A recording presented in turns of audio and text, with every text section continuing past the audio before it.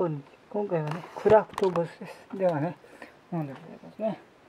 レモンティー。新しく出ました。ではね。うん。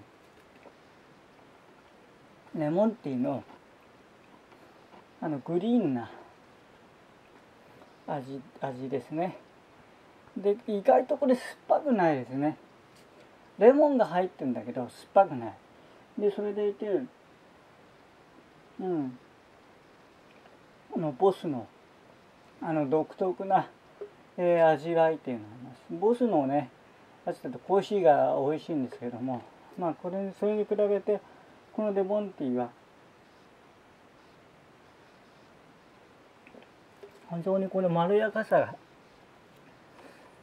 売りなのかな。まあ、さっぱりとはしてますけど、でも全然これは抵抗感なく、えーの飲めるなという感じで、あの非常にいい味わいですね。それでいて、このさーっと広がる、えーボスの香りと味わいが、これがね、非常にいいなっていう感じで、なかなかね、あのいいいい味わいを出してるなって感じです。どうもありがとうございます。